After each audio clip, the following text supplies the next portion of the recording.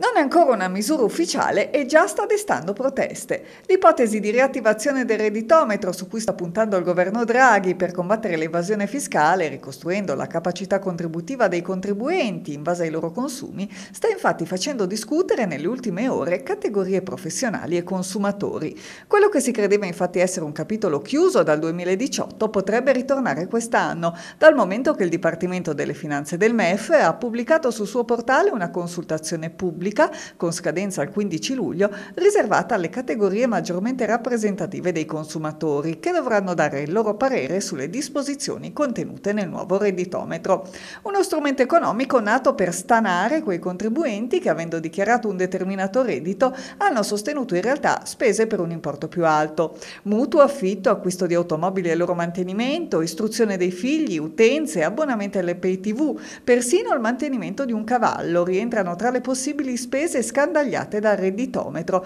che prenderà in considerazione 55 tipologie di famiglie diverse e che per alcune voci, come quelle relative al cibo e all'abbigliamento, si baserà sulle tabelle Istat. I controlli scatteranno nel caso di uno scostamento del 20% tra i redditi dichiarati e quelli ricostruiti in base ai consumi. Tra i primi a levare gli scudi contro il redditometro, l'Unione dei consumatori, secondo cui il 20% dalle medie Istat è uno scarto troppo basso per far insospettire il fisco. In molti casi, commenta il presidente Massimiliano Dona, basta che un componente della famiglia compri quell'anno un cappotto, ossia decida di fare una spesa una tantum per falsare la media e superare il tetto.